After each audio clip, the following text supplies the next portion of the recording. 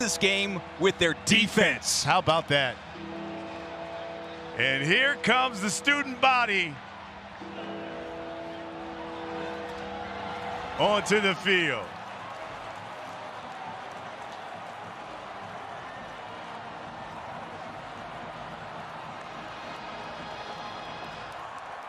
Five and zero for the first time since 2009.